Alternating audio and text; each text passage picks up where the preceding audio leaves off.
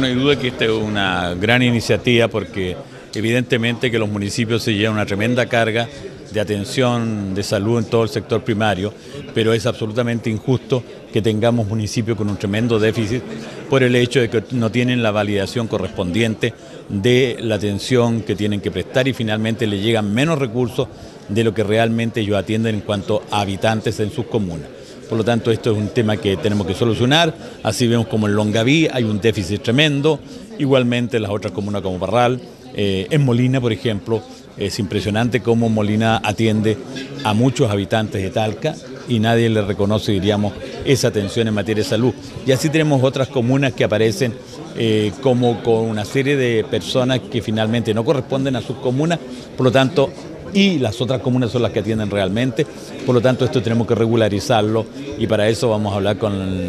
la ministra de Salud y por supuesto que hay que hablar este tema con FONAS.